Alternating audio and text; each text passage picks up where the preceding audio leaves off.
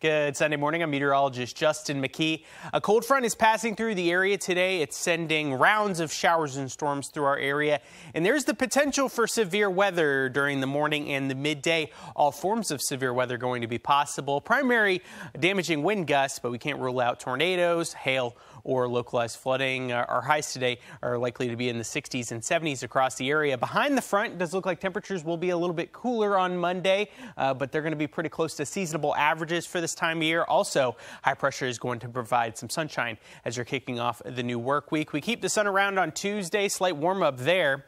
Next weather maker going to be moving in, giving us another soaking of rain on Wednesday. Behind that system, it looks like cooler air filters in as we kick off the month of April.